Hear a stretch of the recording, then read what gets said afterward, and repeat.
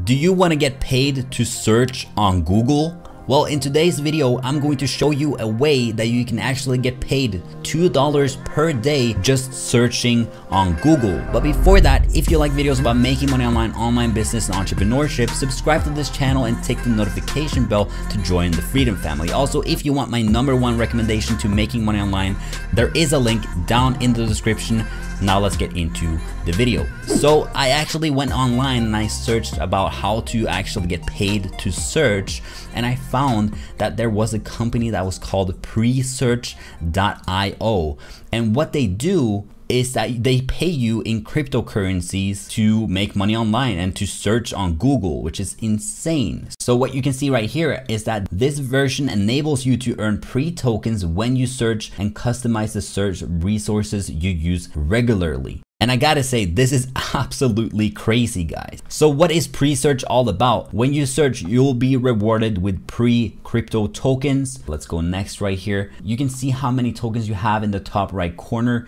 You will earn 0.25 pre-tokens per search up to 32 searches per day, which is eight pre-tokens. So eight pre-tokens. We're gonna check out how much that is later. Next, by default, when you search, your search will go to Google. So basically you just use Google like a regular search engine. If you want to search another site directly, just click the corresponding icon. Next, to see all of your search options, click the Presearch P underscore icon. Next, customize. You can customize your link. Want to change which icons you can search, uh, click the customize link to add delete or rearrange your icons pretty easy. Your selected icons are displayed here at the top. And as you can see, there are tons and tons and tons and tons of different ways you can search. To add a new icon, just add it right here. You can use the search function to filter your options or you can browse by category. That sounds awesome. To select an icon, simply click on it and it will be added to your selected icons. Yes, yes, to rearrange the order. Yeah, we get it. We get it. To set an icon as your default search engine, drag it all the way to the left. All right, pretty easy to delete an icon super simply. That's all for now. Let's try and make some money uh, doing a search. What should we search? Uh, make money online searching. Oh a little coin popping up right there.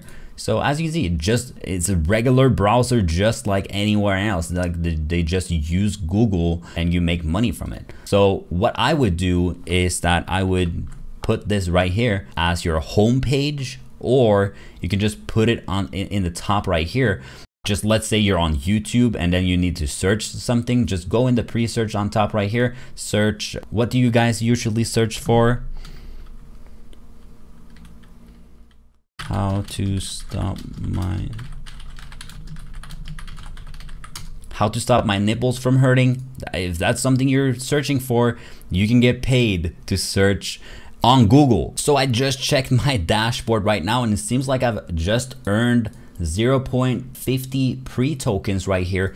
And they said that I could make up to eight pre-tokens per day. And I actually want to check how much that is at the moment. So it says that a pre-token is right now at 0.08 dollars. And it has been going down fiercely over the last couple of months because of the huge bear market that we have right now. So let's check how much that is. Cal, let's bring the calculator out.